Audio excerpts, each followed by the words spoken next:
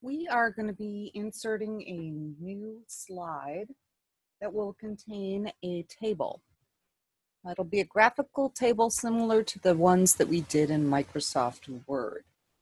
So we are going to go to slide eight, and then we're going to go to the home ribbon, and we're going to click on the new slide button because we do want the default title and content slide. And for the title, we're going to key in timeline. And in the content area, we are going to click on Insert Table. And for the number of columns, we only want two. And for the number of rows, we are going to bump that up to nine. And then we're going to click OK.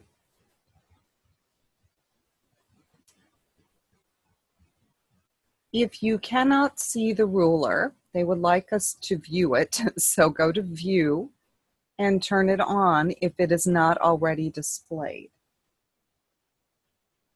And the reason that we need to see the, the ruler is because we're going to widen up our first column. And your insertion mark should be in the first cell in the first column. And so that is what is displayed right here and we are going to left drag this to about six. So there's kind of this little line between our columns and that's where we are positioning the mouse. So once you get that to about the six inch mark, you should be good. And we're gonna start with our insertion mark in the first cell and we're going to key in activity. And then to get to the next cell, we're just going to press tab. And we'll key in date. I'm going to press tab again to get to the next line. And so we're basically going to key in all of the text in this table, pressing tab to get from one cell to the next.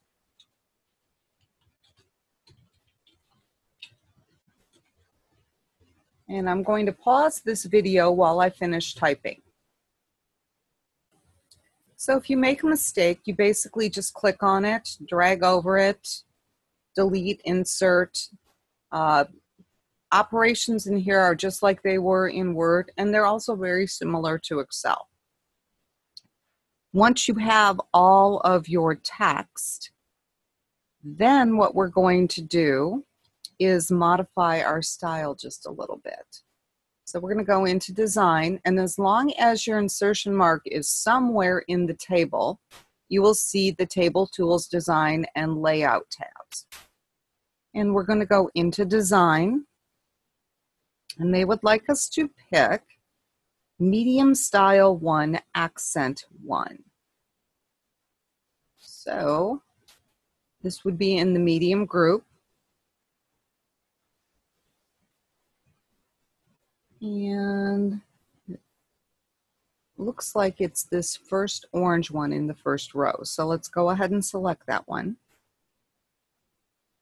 And then we're going to go into the layout ribbon.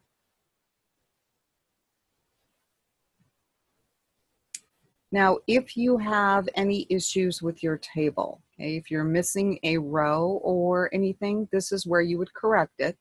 This is almost identical to what you saw in Word. There's not a whole lot of difference here. And what we're going to be doing is selecting our first row and then centering the text.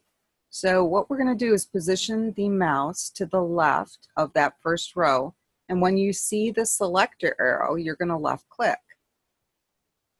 And then we can just give the command to center. Now they would also like us to increase the height. So right now the height is 3.65 and we are going to change it to 4. And so you should notice now that that row is just a little bit taller as well. And they would also like us to change the alignment of the table on the slide. So we're going to go into align and we are going to distribute the table horizontally. And you should notice that the table moves slightly to the right. So now there's an even amount of space on the right and the left. And at this point, we are going to go ahead and save our changes.